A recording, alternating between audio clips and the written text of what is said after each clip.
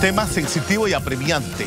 La caja del Seguro Social, su futuro, sobre todo cómo mejorar el servicio, medicamentos, especialistas, citas médicas, el tema del IBM, una pelota que ya lleva tres administraciones que se han pateado 15 años y que tenemos ahora las consecuencias. Quiero dar la bienvenida al doctor Carlos Abadía, ex viceministro de Salud con nosotros. Doctor, gracias por acompañarnos. A ver, empecemos por esa convocatoria. A mí me llama la atención que a esta altura la Junta Directiva de la Caja ha dado convocatoria. La Andorra no habla de julio. Este, mira, siempre se ha llamado la convocatoria en julio. Julio. Están llamando desde mayo para para junio.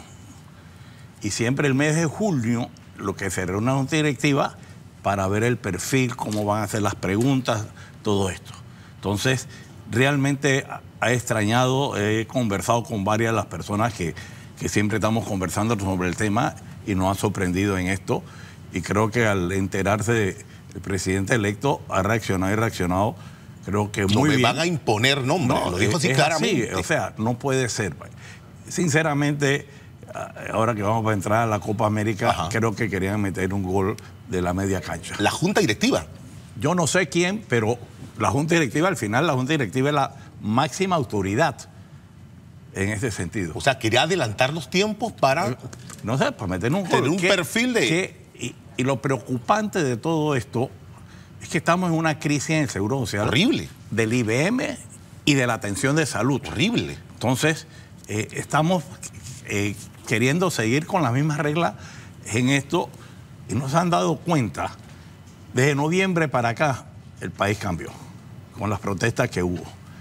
Eh, el resultado de las elecciones es un mensaje claro. El que me antecedió lo estaba mencionando en esto. El que no quiera entender esto se va a estrellar.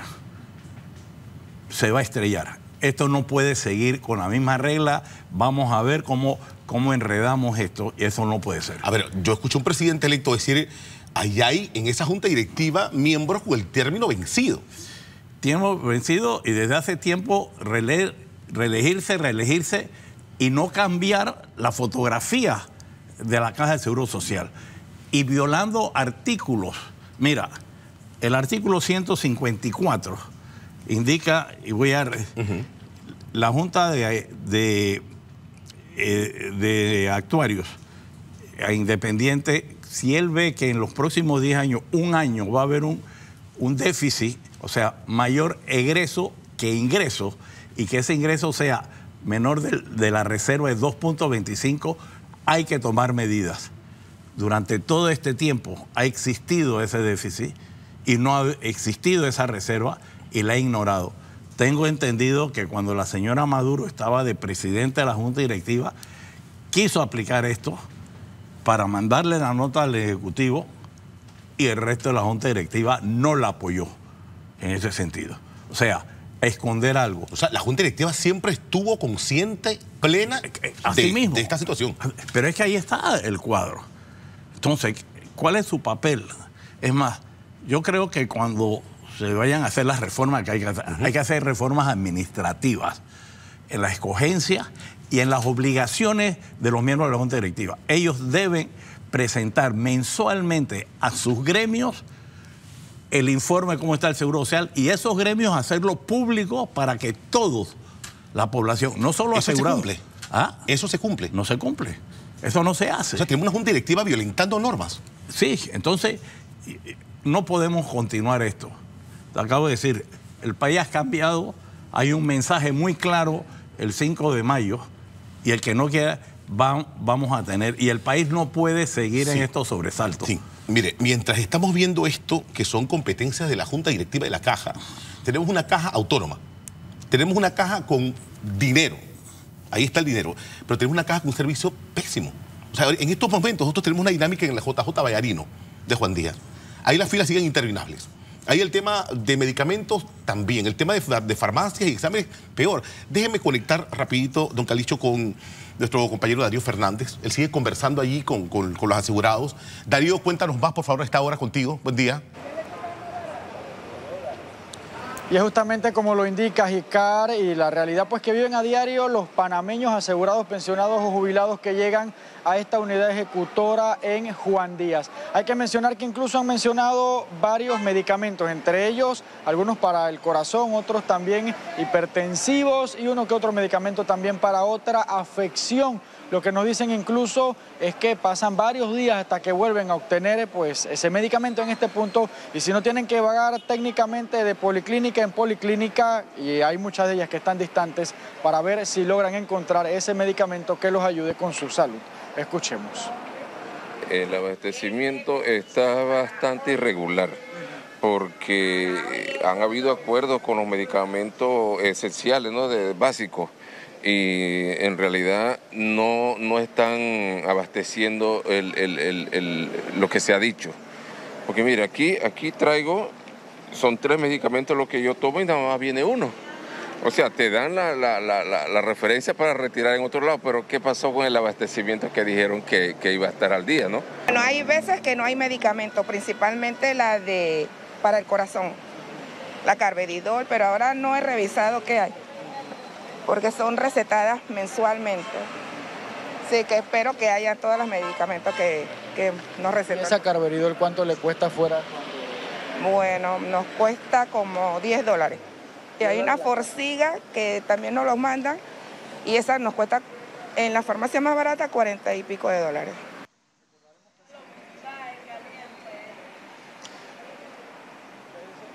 Bueno, es parte de las denuncias que colocan aquí los asegurados. Escuchamos el testimonio del señor Ángel.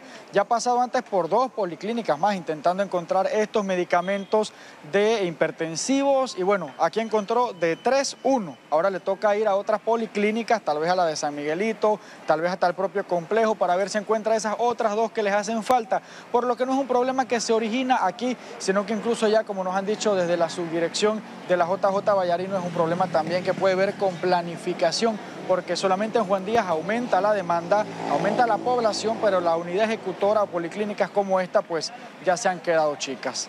Darío Fernández Guerra, TVN Noticias. Gracias, Darío. De tres medicamentos consiguió uno. Y voy a empezar a bregar a otras unidades a ver si le encuentro. Pero sumado a eso, demora. No es posible que para meter una receta tienes una hora y diez minutos en la fila. En la fila para el laboratorio fui hace unos días para sacar una cita para el laboratorio y demoré hora y 15 minutos hasta llegar y habían ocho personas delante mío nada más. Entonces, las administraciones no están siendo efectivas y la junta directiva no ve esto y la dirección general tampoco. Entonces, estamos mal administrados y son las consecuencias de, esta, de esto que vemos. Mire, la Junta Directiva, me lo han dicho muchos miembros, esto es como que un feudo y cada quien tiene su esquina y no te metas con, mi espacio. Eso es cierto. Pero, y eso es irresponsable, no solo es cierto, es irresponsable, porque ellos no están ahí por su gremio, para defender su gremio, es para el asegurado. Esto es una institución para todo el país. Entendamos esto, eh, nunca han entendido y, los políticos en la otra, que, ah, no, yo estoy aquí para lo mío. No. Es para el país o la institución en esto en especial. A ver, ese manejo político, porque es una realidad, es un manejo político, que tiene la caja. O mira, politiquero. Bueno, politiquero, nunca dicho, pero este manejo, este manejo nos tiene aquí donde nos tiene en estos momentos. O sea, una junta directiva con gente que repite, repite, repite, repite y al final no saben que son parte del problema. Son parte del problema y deben dar vergüenza. Y te pongo esto, la fotografía de la caja del Seguro Social de hace 15 años es diferente a la de hoy o está más deteriorada? Más deteriorada. Entonces, es eso, y claro, no podemos mantener una junta directiva en una empresa, hubieran estado todos votados. Votado. En ese sentido, porque la empresa quebró. Entonces, esto hay que corregirse y repito, el mensaje que se mandó el 5 de mayo, el que no quiera entenderlo, se va a estrellar contra la pared. Aquí han estado directores de las cajas que nos han dicho a nosotros, Icar, hasta para mover un funcionario de un piso a otro, un traslado. Yo no puedo. Eh, hay, Yo no puedo porque es meterme con el gremio de ellos. Lo que dijo un candidato en el año 94, eh, hay que hacer un revolcón. El revolcón. Vamos a tener que ir a eso. Y que todo el mundo entienda. Aquí no podemos seguir protegiendo nuestro derecho y no viendo el derecho de toda la comunidad en este asunto de los asegurados y de los y de todos los panameños directamente en ese sentido. Ahora, al final el presidente es quien escoge en esa terna. Sí. Y la norma dice que tiene que ser de esa terna. Sí. No puede ser. Eh, no puede ser. Eh, y probablemente ya habrán personas que estarán preparando sus papeles que sean capaces de confianza del presidente, aunque sea autónoma. Ojo, la autonomía no quiere decir que soy una isla. Hago lo que me da la gana. Eso no es autonomía. La autonomía de la Caja de Seguridad se le dio el inicio para la parte financiera manejarse. Pero la autonomía es para tomar decisiones. Sí, para tomar decisiones. Yo, veo que es por aquí la cosa, yo tengo que mirar al presidente a ver qué dice. No, no, no, pero, pero, ok, pero es que las decisiones las han tomado, ah, yo hago lo que me da la gana porque yo soy autónomo. No es así, porque perjudicas a toda la población. No solo a la población asegurada, a toda la población. Entonces, tiene que cambiarse esto inmediatamente. Esto no son, ah, que vamos en un proceso de 10 años. No, no, no, no.